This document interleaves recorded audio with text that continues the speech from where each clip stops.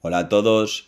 En este vídeo quiero hacer un pequeño update de tanto Sigma Internacional como Gamma Global, eh, que aunque es verdad que tenéis ya la carta trimestral eh, de Sigma Internacional, que por supuesto la tendréis adjunta en comentarios, eh, creo que un vídeo es una forma más dinámica de, llegar a, todos vosotros y explicaros un, poco las perspectivas que tenemos sobre la cartera y explicar por qué estamos tan positivos en ella.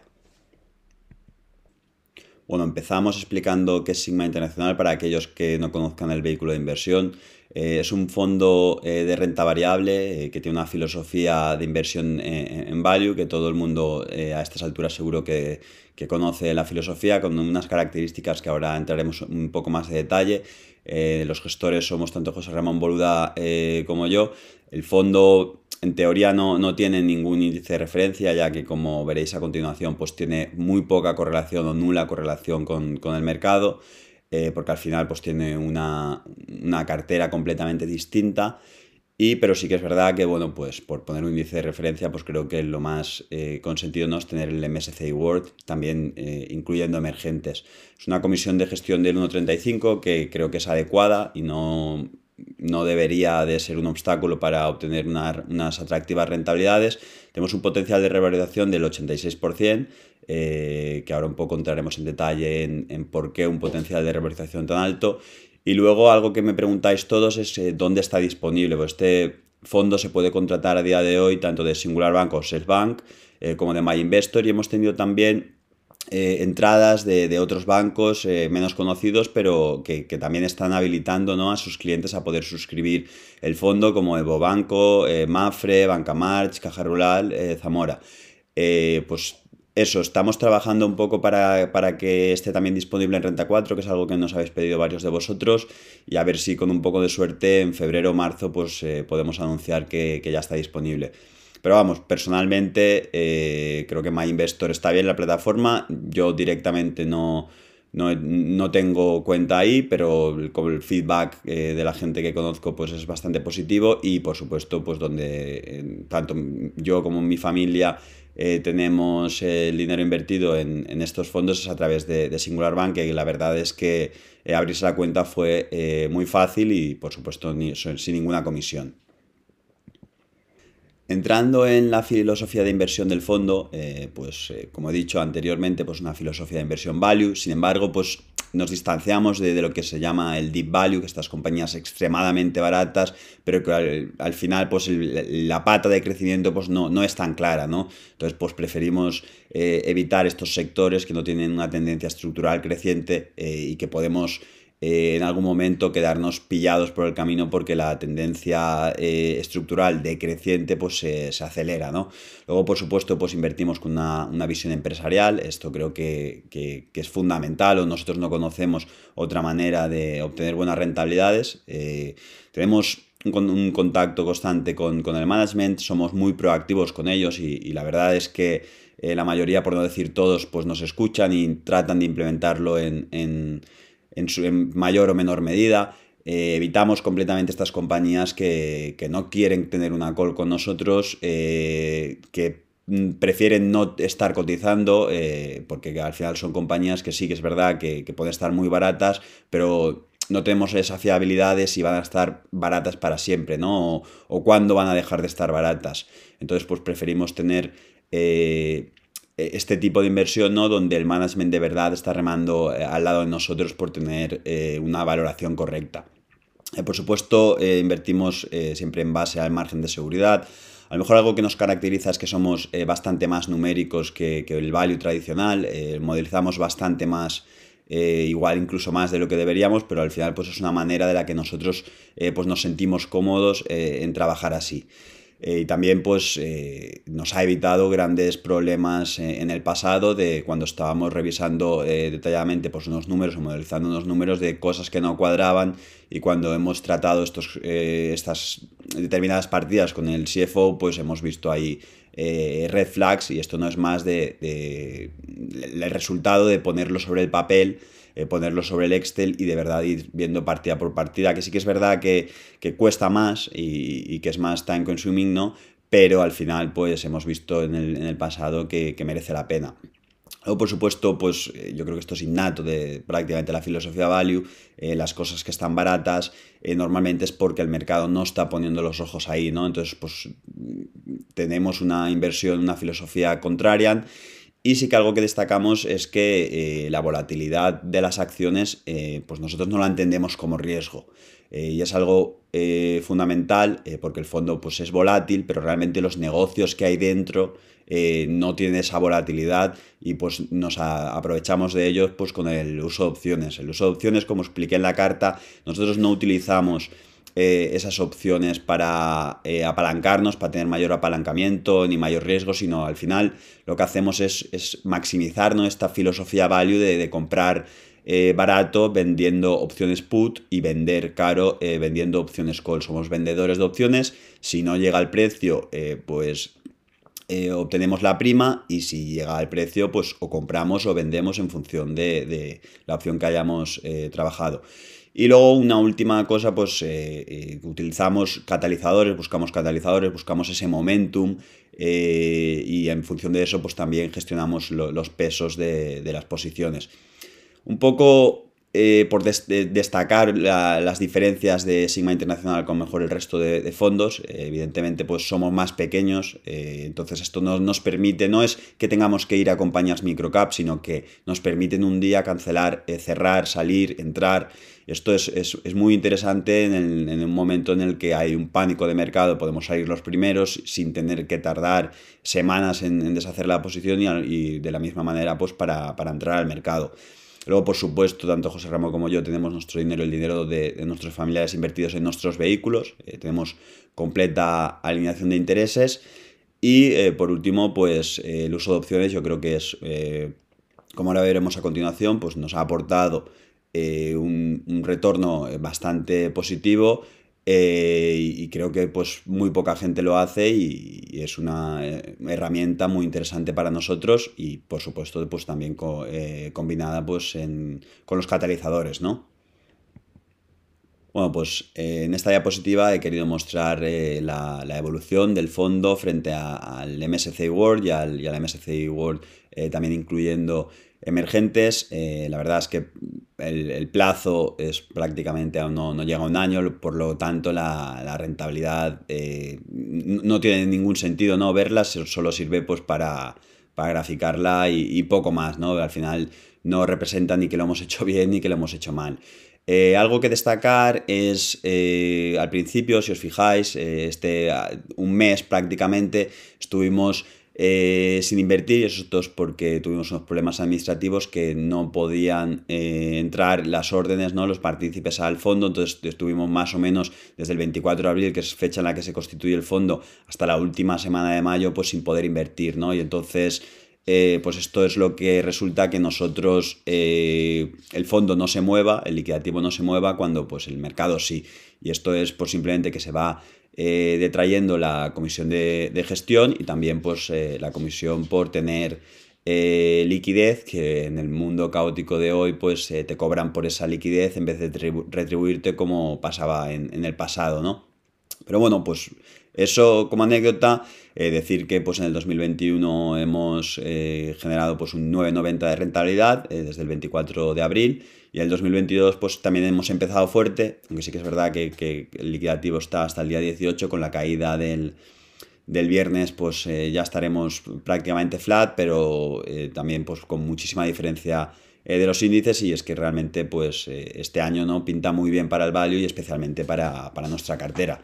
tenemos tesis que están en un periodo de maduración correcto. Yo creo que, que, este año y el año que viene deberían de ser unos buenos años para, para los distintos negocios que ahora entraremos en detalle. Luego algo que también eh, vosotros me preguntáis es pues la distribución geográfica y la distribución eh, por sectores, eh, os la pongo, los datos son de Morningstar, yo tengo alguna discrepancia con algún dato, pero bueno, al final pongo lo, que representa Morningstar, que tienen en nuestra cartera en absoluta, entonces pues si ellos consideran que, que, esos son los criterios, pues aceptamos esos criterios, porque la realidad es que nosotros eh, no invertimos de esta manera, no vemos que tenemos demasiado peso en industria o en energía, no vemos que tenemos demasiado peso en Estados Unidos, somos completamente bottom-up y entonces pues estos detalles no, no, es algo que nos, que nos interese o que nos cambie nuestra manera de invertir, ¿no? Pero bueno, como alguno de vosotros eh, lo ha preguntado, pues aquí lo tenéis.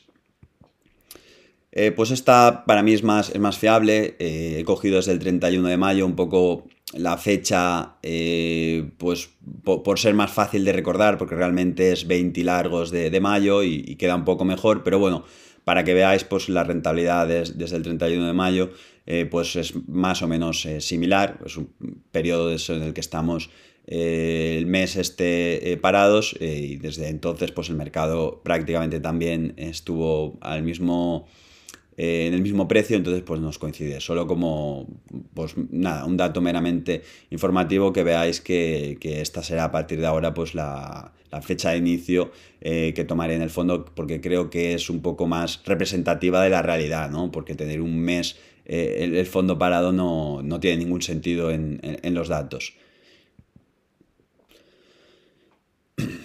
Bueno, eh, entrando ya en detalle en el 2021 en, qué ha ocurrido, eh, pues como podéis ver, la, primera, eh, la rentabilidad por tipo de, activo, evidentemente esto es un fondo puramente de renta variable, sí que es verdad que hemos hecho una pequeña cobertura del dólar y es simplemente porque tenemos una posición muy importante en dólares especialmente en, acciones donde no, tiene una cobertura natural, ¿no? Porque, por ejemplo, pues eh, Teva eh, tiene una cobertura natural y si, como es eh, mundial, ¿no? su negocio es global, pues si se deprecia el dólar, pues Teva gana más dinero. Entonces vale más, a pesar de que se deprecie por vía divisa para nosotros que consolidamos en euros, pues Teva debería de apreciarse porque gana más dinero, ¿no? pero hay muchísimas otras compañías eh, donde no tienen esta cobertura natural y entonces eh, lo que hemos visto es que tenemos una posición excesiva en, dólares y no queremos que influencie a, la eh, rentabilidad de los negocios, ¿no? Entonces somos completamente agnósticos con el dólar, no sabemos qué va a hacer, por lo tanto pues hemos decidido cubrir una parte. Ah, esta cobertura pues ha restado 0,16, es una cifra irrisoria en un fondo de renta variable y no creemos que sea determinante eh, en el futuro. Y como digo, solo hemos eh, cubierto pues, una parte eh, y simplemente pues, para que no influya tanto positiva como negativamente pues, en los resultados del fondo, ya que lo que obtenemos por la revalorización o depreciación del dólar, pues lo perderemos, ganaremos por el hedge, con lo que el impacto final para el fondo pues, será completamente neutral. Las opciones han ido muy bien, eh, prácticamente el 10% de la rentabilidad eh, del fondo ha sido vía opciones. La verdad es que hacemos opciones eh, de corto plazo, más o menos pues 30, 60, alguna 90 días, con la que tenemos mucho control y nos permiten mucha flexibilidad a la hora de, asignar unos pesos a, las compañías o otros, ¿no? Entonces, pues estamos muy contentos con, la estrategia y la verdad es pues, que, ha funcionado muy bien y especialmente en periodos eh, donde el mercado o nuestros valores no, toman ninguna dirección, pues las opciones te, proveen ese extra de rentabilidad ¿no? que no te están dando eh, las acciones. Y por supuesto, pues el core de, la rentabilidad pues, ha venido por, las acciones. Pues bueno, un poco entrando en detalle en las rentabilidades. Eh, como ya os habréis dado cuenta, eh, en las cartas trimestrales eh, intento poner los valores destacados que no son más que los que más han contribuido y los que menos han contribuido un poco para explicar por qué las cosas están yendo mal, si están yendo mal o, si estamos incrementando y también pues en las que están yendo bien, pues qué ha pasado, ¿no? Entonces pues intentamos destacarlo en, las cartas trimestrales, creo que, es algo que, aporta bastante al, al, al al coinversor, eh, y por eso lo estamos haciendo, ¿no? Eh, los mayores detectores del, año, si os fijáis, tienen una cosa en común, es que todos son eh, asiáticos, aunque sí que es verdad que, que, de los tres solo hemos incrementado posición en dos de ellos, siendo Caixa Prosperity el único valor que aún no hemos incrementado la posición.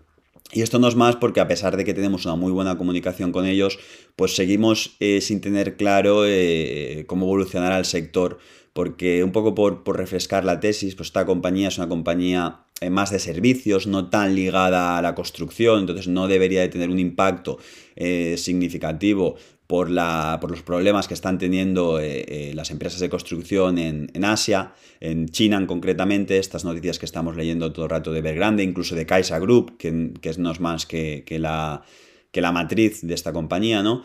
Eh, y debería de, ser su, beneficio bastante sólido, como también ha sido en crisis en el pasado, aunque no cotizaba, pues puedes ir a ver los números y la verdad es que la compañía pues, se comportó, el negocio se comportó extraordinariamente bien, pero tenemos un poco el, miedo a que la matriz en, un momento determinado, eh, por necesidad de liquidez, pues haga alguna cosa que, pues que no nos guste, ¿no? Pues como eh, eh, financiarse a través del working capital de, de Kaiser Prosperity o incluso venderse, venderle de la matriz a, la filial unos activos a un precio que, no cuadra o que no encajen en la filosofía de, de Kaiser Prosperity. Entonces, como un poco hay, hay nubarrones, eh, seguimos confiando en que la compañía está extremadamente barata, pero creemos que el, ¿no? el riesgo recompensa eh, estamos mejor en, otros sitios y como estamos prácticamente full invested, pues preferimos eh, estar en, otros valores, ¿no? donde a día de hoy sí que tenemos una visibilidad más clara. Por supuesto, pues eh, es una posición como otra del fondo, algo menos del 1% actualmente de peso, y seguimos monitorizándola y en el futuro esperamos incrementar significativamente en el momento en el que ya tengamos esa visibilidad eh, Alibaba, pues una compañía también eh, conocida por todos. Eh, la, caída creemos que, ha sido excesiva. sí que es verdad pues, que la regulación y el ruido del gobierno chino pues, debería de haber, debe de impactar realmente al, múltiplo, ¿no? Aunque sí que es verdad que, aspectos que se han sacado últimamente como el ADR, pues eso es, es innato, es un riesgo innato en Alibaba. Eh, y yo diría que, es menos riesgo que hace un par de años, eh, sobre todo pues la, regulación que ha sacado las noticias que han venido eh, por parte del gobierno chino dicen que están tranquilos con el ADR, creen que es una forma de financiación necesaria para, China y que mientras las cosas sigan de la manera en la que se están dando, pues que ellos no, no van a tener ningún problema, ¿no?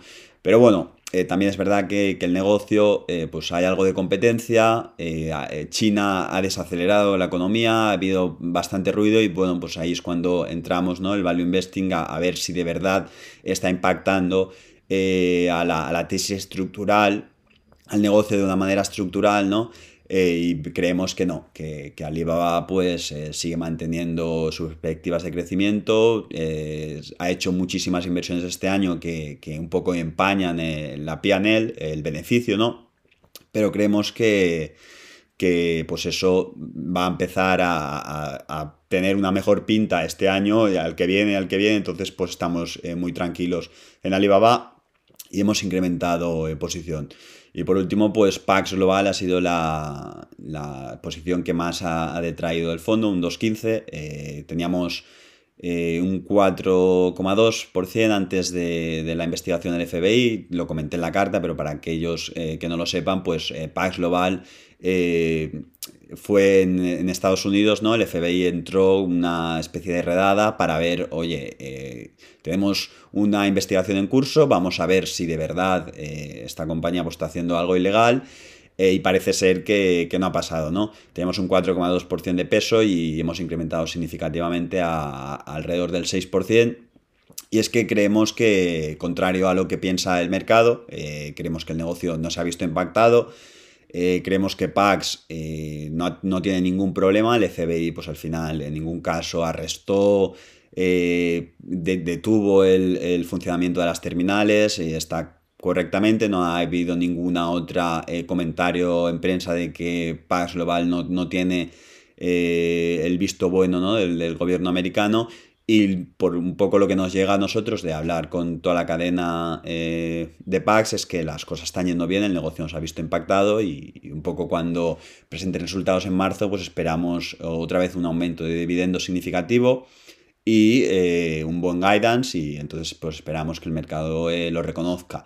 Además la compañía pues ha sido muy activa en, recompras, con, recomprando un 0,15% semanal del market cap y creemos pues que, están demostrando ¿no? la confianza que, que, tenemos nosotros en ellos y están pues ejecutando muy bien, entonces creemos que es algo temporal eh, que, ha sido una caída como consecuencia de, evidentemente, el ruido de mercado y de, que el FBI ha entrado y, demás.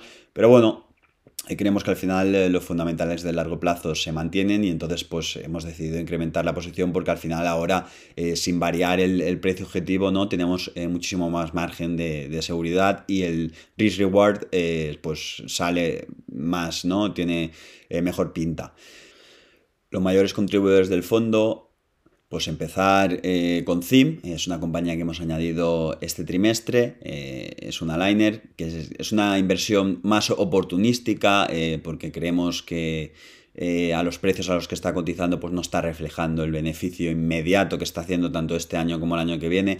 Además, TIM tiene una política de dividendos muy favorable con el accionista, pagar entre el 30 y el 50%. Eh, que estará, suponemos, entre el 40 y el 50% más el, pago de dividendos.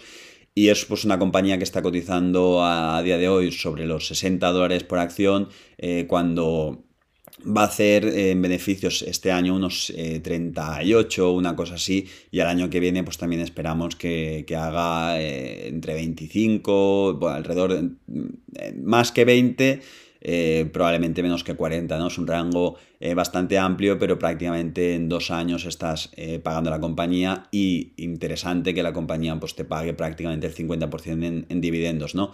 Es un negocio bastante cíclico, y por eso no seremos los últimos en, vender CIM, pero creemos que a día de hoy pues hay, hay catalizadores importantes, la acción está demasiado barata para evitarla y es por eso por, la que, por lo que le hemos añadido en, este trimestre y pues con muy buen acierto, ¿no? Porque ha sido uno de los mejores contribuidores del año.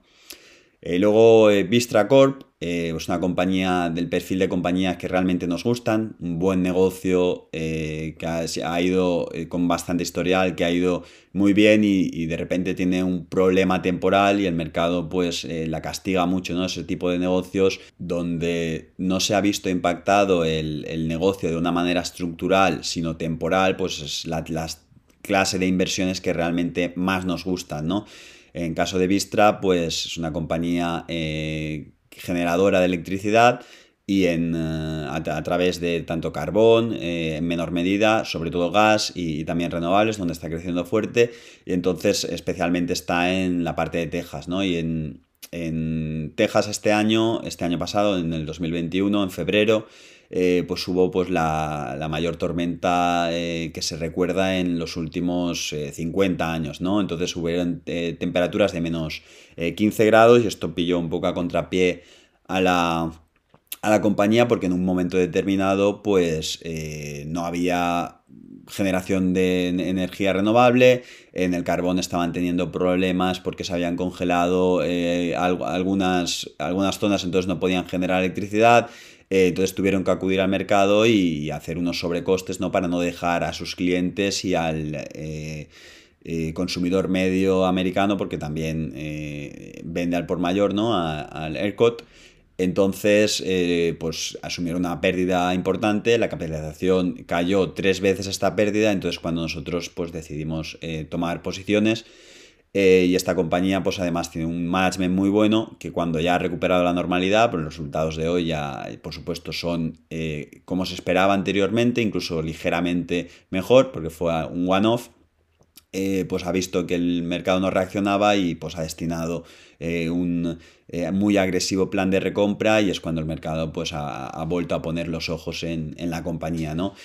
Y por último también Franklin Covey, que también es, un tipo de inversión que, que nos gusta mucho, eh, si veis el gráfico de Franklin Covey, eh, creo que está cotizado desde los años 90 eh, y es una compañía que cotizando desde los años 90 nunca ha sido un compounder, ¿no? Y, es un siempre ha sido un negocio pues, bastante cíclico, bastante, con retornos bastante regulares. al final es un negocio básicamente de coaching para, empresas, pues a, los empleados, ¿no? las grandes compañías pues les tienen que ofrecer cursos de, de ventas, de, también para que ellos pues crezcan ¿no? a, nivel personal. Y esto también es algo muy interesante a día de hoy, ¿no? En un momento, especialmente en Estados Unidos, donde hay eh, mucha competencia por eh, la, gente, ¿no? Pues que le ofrezcas eh, este tipo, este atractivo a, tus empleados, pues dice mucho en tu favor y tienes más posibilidades de retener a estos empleados que están satisfechos, ¿no? Bueno, es una compañía que, que, era complicado su negocio, pero al final su negocio eh, pues cada año no tienes que ir, venderle un curso a, los empleados, claro, y, al año que viene ya los lo ha terminado, tienes que venderle un curso nuevo. Además, eh, pues son bastante fáciles de, copiar. Con lo que quiero decir que eh, tu empleado, que ya ha dado ese curso muchas veces, puede quedar con la empresa en, oye, yo proporciono a partir de ahora el material, nos soltamos a Franklin Covey y lo hacemos mucho más barato, ¿no? Entonces, pues e, e, es complicado, es un mercado muy fragmentado, eh, muy cíclico, cuando las cosas van mal, eh, pues enseguida lo primero que, te quitas es este gasto, ¿no? Pero bueno, era la antigua Franklin Covey esto, y esto es lo que nos gusta mucho de, este tipo de, inversiones, que es una compañía que cambia radicalmente eh, y que el mercado, pues claro, como la tiene eh, por una compañía de, mala calidad, pues no se da cuenta hasta, muy tarde. Y eso es lo que está empezando a ver ahora el mercado. Lo que ha hecho Franklin Covey es eh, ha, disruptido su propio mercado eh, creando un, pase donde Franklin Covey da acceso por más o menos la cuantía que, que estaban antes pagando por un curso, prácticamente eh, pues dan acceso a todo el material. Entonces, ¿no? Pues como Netflix, imaginaros que Netflix antes solo podías ver o pagas solo por una película y ahora las tienes todas, ¿no? Entonces, pues eh, esto ha quitado a todos los players pequeños, porque estos players pequeños pues no pueden competir como un Franklin Covey, porque Franklin Covey es líder de mercado en material, en, en empleados, en calidad, en todo, ¿no? Y claro, pues tus empleados ya no te pueden hacer la competencia porque no pueden ofrecer eh, estos servicios, ¿no? Entonces, eh, pues ha pasado de ser eh, una compañía con unos retornos mediocres, de un negocio de one-off, eh, contratos de one-off, a, una compañía SaaS, que, se, que está tan, tanto de moda ahora mismo, cotizando muy barata y realmente pues con un crecimiento muy bueno y que además aguanta, es resistente a las crisis como hemos visto pues en la del 2020. Y pues por eso el mercado está empezando a ver que, oye, esta compañía está creciendo fuertemente. Eh, sí que es verdad que también la, contabilidad de Franklin Covey eh, hay que entenderla porque ha pasado de un negocio one-off a, un negocio de suscripciones. Eh, y aún no parece que, por múltiplo Enterprise Value EBITDA o, o por múltiplo de PER está, está, muy alta, pero realmente si veis el cash flow, la generación de caja de la compañía, pues eh, cambia mucho ¿no? Eh, las perspectivas. Es por lo que estamos, seguimos muy positivos en, la compañía y creemos que, aún está muy barata, especialmente pues está cotizando alrededor de dos veces venta, es que para un negocio de, estas características pues es, muy atractivo, ¿no? Bueno, pues habiendo visto eh, los mayores eh, contribuidores y detractores, pues pasamos a, las inversiones y desinversiones del último trimestre. Eh, la primera es TK LNG, en la que hemos obtenido un 13% de rentabilidad. Es una compañía que, como todos sabréis, ha sido PADA y hemos tenido que acudir a la OPA, ya que pues, van a excluirla de bolsa en, las próximas semanas. ¿no? E.ON, donde teníamos algo de miedo, es, es una utility, teníamos algo de miedo de que el impacto de los altos precios del gas pues eh, fuese muy negativo en la compañía, por ahora no ha sido, o que el gobierno alemán en este caso eh, hiciese alguna o impusiese alguna condición a E.ON que no nos gustase. Para aquellos eh, que no lo sepan, E.ON es una utility alemana, que es la principal, tiene toda la estructura en, Estados Unidos para el transporte y, de, de, la luz, ¿no? Entonces, eh, pues al final es un negocio muy regulado, con unos eh, retornos eh, bastante predecibles, sin embargo, siempre y cuando los políticos estén de acuerdo, ¿no? dos cosas que nos, preocupaban en, E.ON. La primera es que había, están aprobando el cambio de regulación sobre los retornos que tendrá E.ON a partir del 2024 y no teníamos claro eh, si serían muy agresivos o, poco agresivos. Al final, pues ha resultado eh, relativamente positiva para la compañía. Y eh, también, pues, al final, pues teníamos miedo de que el gobierno alemán hiciese algo similar a lo que ha hecho el, gobierno francés, ¿no? Por ejemplo, si miráis la compañía EDF, veréis que ha, caído en bolsa muchísimo y es porque el gobierno francés eh, les ha obligado a vender la energía nuclear más barata a sus rivales para eh, limitar los incrementos eh, de, luz, ¿no? Entonces, en, un mundo donde los políticos tienen estos, estos problemas, no tienen que salir reelegidos y, la energía se dispara, pues, pues teníamos miedo que también el gobierno alemán echase mano de... Pues por ahora esto no ha pasado, pero bueno, cuando entendimos este riesgo, pues preferimos eh, invertir en otro tipo de compañías. Sodae, que es una compañía que la, verdad es que nos sigue gustando mucho, eh, creemos que sigue barata, pero simplemente pues eh, teníamos otras inversiones que nos gustaban más y, como estamos invertidos completamente, pues tenemos, tuvimos que vender, ¿no? Y por último, Flex LNG, que la verdad que la rentabilidad es, es, bastante superior desde la primera compra, sin embargo, como ha ido entrando dinero en el fondo, pues hemos tenido eh, que ir promediando al alza, entonces por eso la rentabilidad final pues no es tan atractiva como la desde la primera eh, compra. Es la compañía por la que vendimos TK y alocamos el, capital aquí. La verdad es que el retorno ha sido eh, muy fuerte en muy poco espacio de tiempo y se ha ido a un precio donde ya creemos que está relativamente bien valorada por el mercado aunque sí que es verdad que últimamente ha tenido algo de caída y tendremos que volver a estudiar a ver si, si es mejor que, lo que tenemos en cartera, ¿no? Eh, para, volver a entrar. Pero la verdad es que la compañía pues, ha ejecutado muy bien, eh, ha fijado la mayor parte de la flota y va a tener eh, pues, a futuro un beneficio bastante predecible. Entonces es bastante fácil hacerte un DCF y, evaluar ¿no? la rentabilidad esperada. Luego, por parte de, las inversiones, Theme, eh, que ya la, hemos comentado, eh, New Fortress, que al final pues, es una compañía eh, en la que estábamos entrando o vendiendo puts sistemáticamente, pues al final esta vez eh, han entrado en el entorno de 26, 27, tenemos más o menos eh, la posición. Eh, hemos seguido comprando algo más de acciones durante estos primeros días del año y es una compañía en la que estamos muy tranquilos. es a la, la, compañía a la que Golar le, vendió la parte de, downstream en, Brasil. Y es una compañía que se dedica pues, a la generación de electricidad mediante el gas. Eh, creemos que la compañía vale más o menos en torno a los entre 40 y 50 dólares, aunque para calcular el precio objetivo pues hemos utilizado una estimación más conservadora que es 40 eh, dólares. Y esto eh, creemos que está tan barata simplemente porque pues, la compañía, si la miráis hoy en día, los resultados, pues vais a ver que tiene mucha deuda y que no está generando nada de beneficios. Por supuesto, pues está en un plan muy agresivo de inversiones. En los próximos dos años tendrá ya funcionando esos proyectos, pero hasta entonces, pues el, balance ¿no? y, el, y las métricas eh, financieras pues, van a parecer muy mal.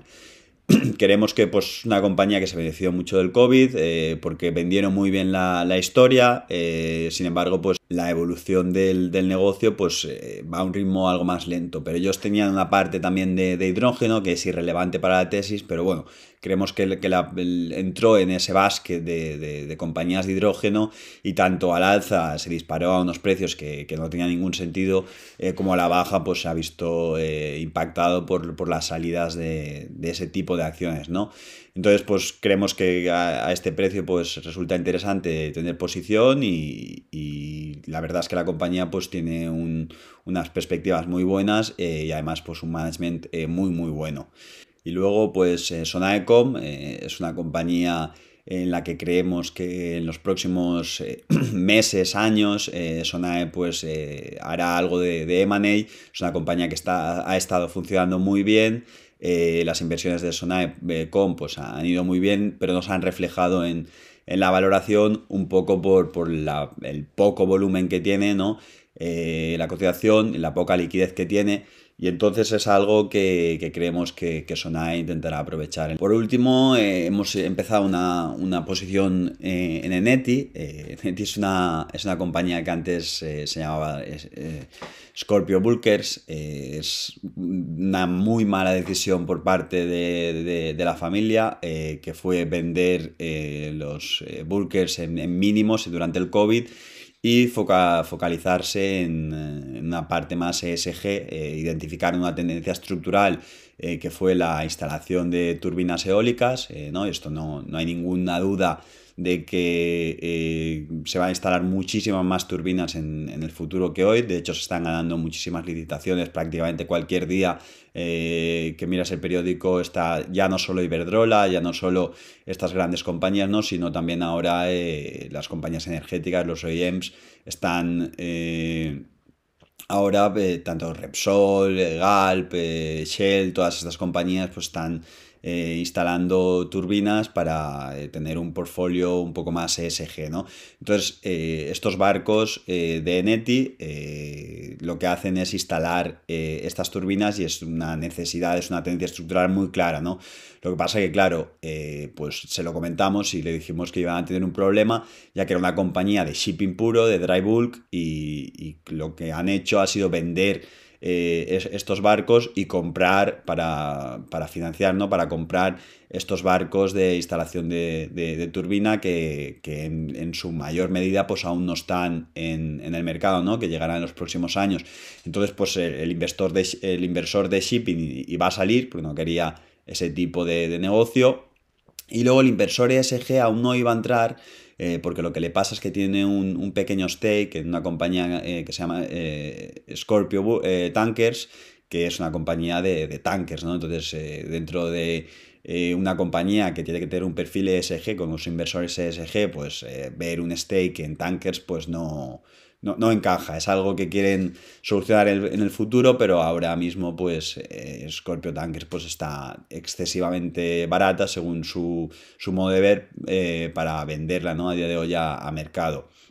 Entonces, pues, eh, es algo que, llevamos siguiendo. es una compañía que llevamos siguiendo. en, los últimos meses, porque al final tampoco tiene tanto tiempo, eh, y hemos visto pues, que han hecho una ampliación de capital hace poco para terminar de financiar eh, estos barcos y incrementar uno más. Eh, y el mercado pues, la ha castigado muy, muy negativamente. A pesar de que hay cosas positivas como que la compañía, la, propia familia ha incrementado sustancialmente su posición, además con compras tanto a mercado como acudiendo a la ampliación de capital y además, pues eh, un problema que teníamos antes, que era que esta eh, flota de, de, bulkers, pues la, el propio astillero, el, que hacía todo el mantenimiento, todo el dry docking, era la propia familia, entonces tenían unos beneficios eh, sustanciales por ahí, pues ahora en este negocio pues no es lo mismo, ¿no? No, no van a tener esos beneficios que tenían con la gran flota. Entonces reduce, ¿no? o aumenta con nosotros la la alineación de intereses, que ya no es tener más barcos porque sí, eh, sino que ya es realmente pues, eh, generar rentabilidad para los accionistas. Y entonces pues tenemos la compañía eh, que está cotizando prácticamente a la mitad del precio que le ha costado, que le han costado sus, sus barcos, que por supuesto tienen una rentabilidad esperada bastante atractiva y nosotros pues estamos pudiendo adquirirlos eh, por la mitad solo por esta ineficiencia que os he contado de que el inversor en shipping no quiere estar aquí y el inversor ESG eh, e eh, por ahora tampoco, ¿no? Entonces, pues hemos aprovechado esa ineficiencia y hemos empezado a construir la posición y creemos que, pues, que hay catalizadores en el corto plazo, en la obtención de esos contratos de, largo plazo, eh, que va a ser mucho más fácil para, los inversores de modelizar eh, cuánto puede generar esta compañía en, los próximos 5, 6, 7 años. ¿no? Entonces, pues por eso hemos iniciado una posición con intención de, ir aumentando a medida que estos catalizadores pues, se, vayan, se vayan dando. Y pasando a, las principales posiciones, eh, pues como podréis ver, eh, son compañías eh, mayormente compounders o que no tienen mucha dependencia del, ciclo. Y aquí pues a primera vista podéis ver tres compañías que, sí que son más oportunistas, bueno, dos de ellas, la tercera no tanto, que podría ser pues International Petroleum, IPCO y, CIP, ¿no? Donde sí que es verdad pues que estamos por las dinámicas de oferta y demanda en, en estos momentos, ¿no? Eh, el resto de compañías, eh, incluyendo navíos, porque navíos al final pues, es una compañía cíclica muy dependiente del ciclo, pero claro, cuando has podido fijar eh, la parte de containers para los próximos 3, 4, 5 años, que solo con estos beneficios pues te aseguras de que, no vas a tener pérdidas en prácticamente ningún escenario, pues claro, aunque la naturaleza del negocio eh, sea cíclica, pues eh, la compañía, gracias a este backlog, pues, pues deja de, pierde esa ciclicidad, ¿no? Entonces, pues por eso eh, tenemos un margen de seguridad muy elevado en, la compañía y es una de las principales posiciones.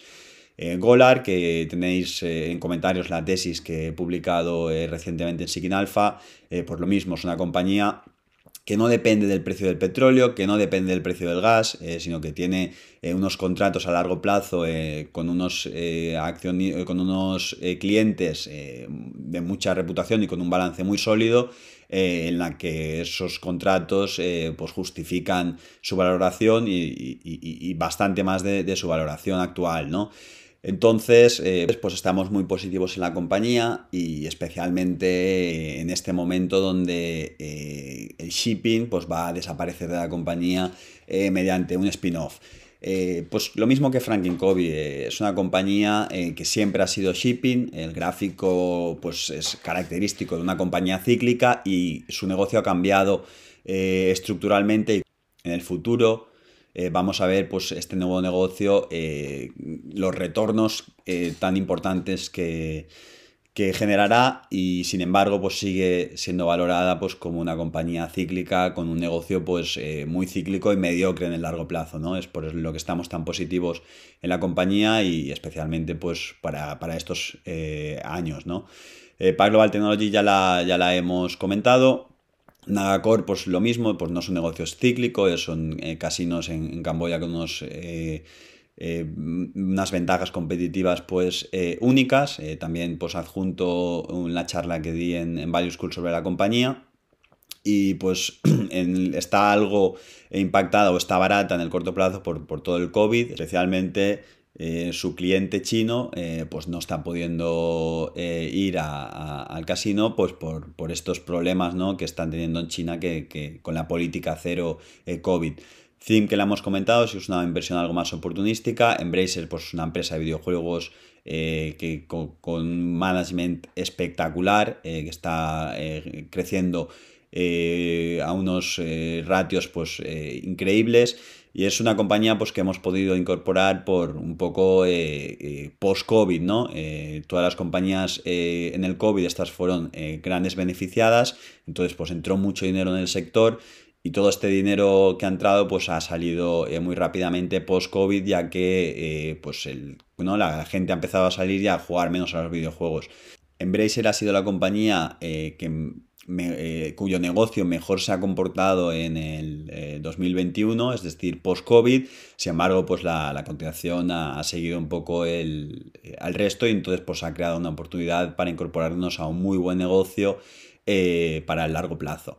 ABF pues también es, Primark, que es un, operador, un retailer low cost, en el que pues tampoco está muy ligado al ciclo, ¿no? Su evolución, Franklin Covey y Vistra, que ya, la, ya las hemos comentado. Y es un poco eh, el 48%, más o menos la mitad de la cartera, los primeros 10 valores, tenemos unos 30 valores, eh, por lo que los 20 restantes pues eh, es el otro 50% de la cartera. Bueno, y con esto pasamos a, a Gamma Global, eh, que es un fondo también del, que me habéis preguntado mucho y, que también pues, en, el, futuro empezaremos a hacer eh, cartas trimestrales. Estamos construyendo la cartera porque aquí eh, es un fondo más de renta fija y construir la cartera no es tan sencillo como en la parte de, la renta variable, pero ahora que ya tenemos un poco la cartera construida, pues ya es hora ¿no? un poco de, explicar en, algo más de, con algo más de detalle pues, el fondo. Lo primero, pues es un fondo diferente, eh, es un mixto flexible, eh, que al final es más importante no controlar la volatilidad y, obtener un retorno eh, alrededor del 5%, que, que, tener un retorno muy alto a cambio de volatilidad no es una perspectiva, es un objetivo completamente diferente a lo que teníamos en lo que tenemos en, Sigma Internacional, una comisión evidentemente también más baja para, lograr este objetivo. Eh, los, gestores somos tanto José Ramón eh, Boluda como yo y es eh, un fondo de un carácter eh, muy diferente a lo que yo creo que, hay en España o mayormente hay en España, porque al final lo que hacemos es aplicar el value investing a la, renta fija. Y lo vais a entender eh, muy rápidamente. cualquier fondo de renta fija que este año podáis consultar, o la mayor parte de ellos, habrán tenido unos, retornos mediocres porque pues ha sido un año de subidas de, de, de tires, es decir, pues la política eh, de los bancos centrales ya retirando liquidez del sistema, ya con el tapering eh, y con perspectivas eh, de subidas de intereses, pues lo que ha hecho es caer el precio de, de los bonos, ¿no? Entonces, eh, esto ha impactado negativamente la renta fija. Sin embargo, no a la renta fija que, nosotros tenemos, que es una renta fija eh, diferente. No es comprar el, bono eh, de 10 años y esperar a la política macro a ver cómo evoluciona, sino es aplicar el value investing y hacer un bottom-up claramente. ¿no? Bueno, el fondo se ha comportado bastante bien. Aquí tenéis también la, la distribución por, por Morningstar tanto de eh, sectores como geografías. Y el fondo lo que tiene es más o menos un 25% en, renta variable. Hemos tenido eh, un 24% en promedio durante el año. Eh, y luego pues tiene una parte de liquidez que evidentemente no está en cash, está en bonos de muy muy corta duración, que es prácticamente liquidez, si lo necesitamos en cualquier momento lo podríamos vender inmediatamente sin perder dinero y también en, en, en pagarés, ¿no? Y luego, pues la renta fija, eh, que especial, pues nosotros, pues ahí sí que tenemos el, prácticamente el 50% del fondo, la mitad del fondo. Eh, pues las rentabilidades las tenéis aquí, un 4,79 en 2021 y el 2022 también ha empezado muy bien, con también la parte de renta fija eh, contribuyendo de forma positiva, a diferencia de, otros fondos que habrán sufrido, porque como digo, pues el 10 años americano ha caído mucho en precio, ha subido en, en yield, ¿no? Bueno, aquí pues el, fondo lo mismo. Eh, si cogemos desde el 31 de mayo, que es un poco la, fecha, pues también por referencia que hemos eh, cogido en, Sigma Internacional. Yo creo que es, que es importante este, este gráfico donde se puede ver eh, la correlación con Sigma Internacional. Como podéis ver, Sigma Internacional, que está coloreado de negro, pues es mucho, muy volátil, ¿no? Y Gamma Global pues, es un fondo pues, bastante más conservador, con una, eh, unas tendencias eh, pues, menos pronunciadas. ¿no? Eh, lo único por destacar también, esta caída, que es al final un poco la, más pronunciada del fondo, pues es, es irreal. realmente pues, el, el, fondo no cayó, tampoco subió. Eh, pero tampoco cayó en, esa medida, ¿no? Y es por el... Eh, hubo un problema con el, custodio en la parte del bono eh, perpetuo de Aritza, que es un bono que lleva muchísimo tiempo sin pagar el cupón, entonces tenía un cupón acumulado muy alto, y cuando lo pagaron, pues hubo una doble contabilización. tanto se contabilizaba con el precio como en el, en el cash que había entrado al fondo. Nosotros lo avisamos, eh, pero bueno, eh, pues el custodio no le dio tiempo a, corregirlo y como no había impactado a ningún partícipe, pues eh, se ha mantenido de esa manera. Como podéis ver, pues la diferencia pues, es notable, ¿no? Los movimientos no son tan pronunciados y al final porque al fin, en renta variable solo hay un 20, alrededor del 25% del fondo, por lo que, como podemos eh, ver en la siguiente diapositiva, pues lo que de verdad eh, genera las rentabilidades para el fondo pues eh, es la parte de, renta fija. Y así la renta variable prácticamente es la misma renta variable que, tenemos en, Sigma Internacional, a lo mejor con algún detalle de algunas posiciones con las que no tenemos tanta seguridad, pues no las tenemos en, en Gamma Global. Las rentas fijas, de verdad, lo, que tienen que, generar esa rentabilidad a futuro. También tenemos eh, esa estrategia de opciones, lo que pasa que implementada pues, de una manera eh, mucho menos agresiva. Eh, luego fondos, que es prácticamente pues, fondos de, liquidez. Y luego aquí sí que es eh, especialmente interesante pues, lo, del dólar. ¿no? Eh, la mayor parte de la renta fija está denominada en dólares. En un fondo donde no podemos tener mucha volatilidad, donde no queremos tener mucha volatilidad, pues lo que tenemos que hacer pues es cubrir esa parte del dólar, ¿no? Entonces la mayor parte del de la exposición a, a dólar está, está cubierta y sin embargo, o sea, esto no es negativo para el fondo, eh, lo que se obtenga por la parte de esas emisiones eh, vía Forex, pues se pierde eh, vía cobertura y, a la inversa, ¿no? Entonces creemos que, que esto sí que es eh, necesario, especialmente pues, para la parte de la renta fija, porque si no estaríamos eh, jugando a saber si va a subir o va a caer el dólar, cuando nosotros eh, aquí somos completamente agnósticos y, sinceramente pues, no tenemos ninguna, ninguna ventaja competitiva y no tenemos ni idea. Luego, pues de los mayores detractores, pues son posiciones de renta variable. la verdad es que las posiciones en, en los bonos han ido espectacularmente bien y luego pues la, cobertura del dólar, pero como he dicho, pues eh, esto realmente tiene un impacto neutral. Eh, las posiciones que más han contribuido pues es Vistracor, que la, hemos, eh, la acción, que la hemos comentado anteriormente, y luego dos bonos. El primer bono es de, Navios, una compañía que conocemos muy bien porque tenemos una posición importante en el equity, en Sigma Internacional. pero bueno, este, este era la, parte de, de tankers, ¿no? Eh, teníamos pues eh, esa posición ahí. Eh, la compañía pues navíos opó a, la parte de tankers, la consolidó y pues nos amortizó el, bono antes de, lo esperado, generando una rentabilidad significativa para el fondo. Y luego puso HL, donde también pues tenemos un gran conocimiento de, de, la compañía y especialmente de sus activos, porque en los bonos lo interesante no es tanto si la compañía es eh, va suficientemente bien para al final generar una rentabilidad positiva para sus accionistas, sino eh, si en el peor de los escenarios eh, las cosas pueden ir tan mal para que la compañía no devuelva su deuda. Entonces, pues en OHL consideramos que, que lo más que por los hechos que han pasado, los acontecimientos que han pasado en, el último año, pues la compañía se ha capitalizado muy bien y además pues tenemos unos activos eh, muy buenos que sirven como lo colateral del bono como eh, canalejas, ¿no? Entonces pues es la, principal posición del fondo y la verdad es que, en el 2021 pues ha ido eh, extremadamente bien, ¿no? La parte de inversiones y desinversiones recientes, diferenciamos pues la parte de renta variable eh, con la parte de renta fija. En la renta variable, pues al final eh, prácticamente son los mismos nombres que, en Sigma Internacional. Eh, por modificar uno, pues es Devon Energy, que es una compañía de Shell americana que la verdad es que, lo estaba haciendo muy bien, en línea también con el precio del petróleo, tenemos una posición muy pequeña y ya en estos precios pues creemos que IPCO pues tiene mejor eh, riesgo-recompensa, ¿no? Entonces lo que hemos hecho es vender esta posición en Devon Energy y cambiarla por, por IPCO porque no queremos más exposición al, precio del petróleo. Eh, luego, pues las otras compañías, pues también las, las conocemos de, Sigma Internacional y las hemos explicado eh, anteriormente.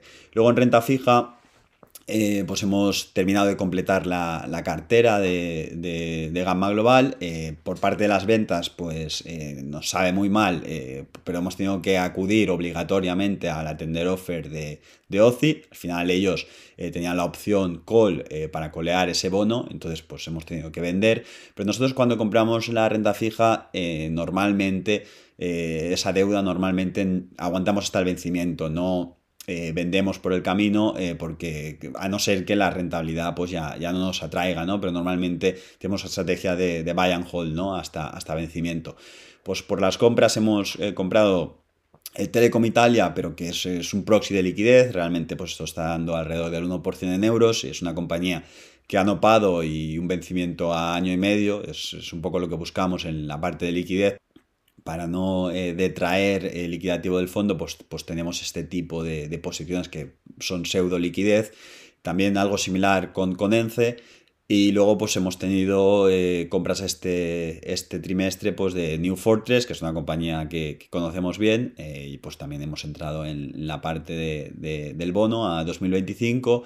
El Golar, por supuesto, hemos ido al principal, tenemos más o menos alrededor del 7 y luego hemos incrementado un poco del 7,5. Es una compañía pues, que, conocemos muy bien, entonces estamos muy tranquilos también con siendo acreedores de, de la compañía.